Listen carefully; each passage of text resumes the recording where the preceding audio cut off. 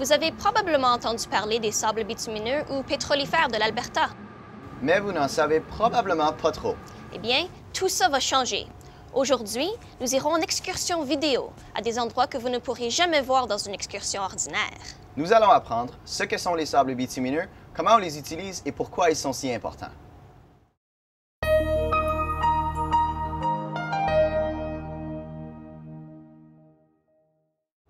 Voici la vedette de notre excursion, les sables bitumineux. Si vous pouviez les sentir, vous sauriez d'où vient leur nom. Ça sent définitivement le pétrole.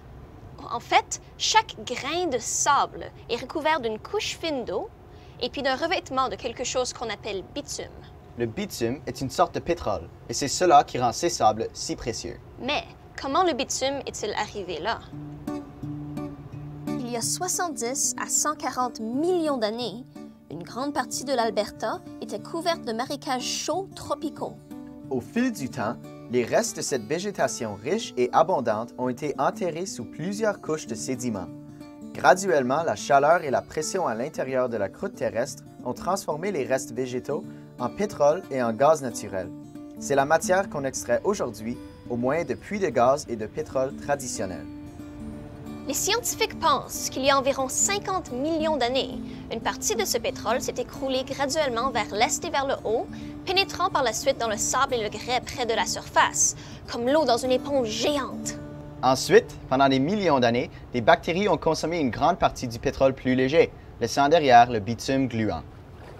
Depuis des siècles, les peuples des Premières Nations connaissent les sables bitumineux. Ils les faisaient bouillir pour en faire un goudron qu'ils utilisaient pour rendre leurs canaux étanches, c'est-à-dire pour les rendre imperméables.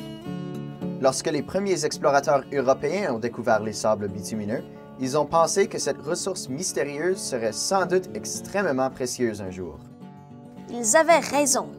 On peut trouver des sables bitumineux sur de grandes surfaces au nord et à l'est de l'Alberta. Ils contiennent des quantités incroyables de bitume. En fait, beaucoup d'experts sont d'avis que le bitume de ces sables bitumineux pourrait répondre aux besoins en énergie du Canada pendant les 500 prochaines années. Mais extraire le bitume, ça c'est un défi. Parce que tout seul, les sables bitumineux ne servent vraiment à rien. Une façon de les utiliser, c'est de leur ajouter de la chaleur. Essayons de mélanger notre échantillon de sable bitumineux avec un peu d'eau chaude.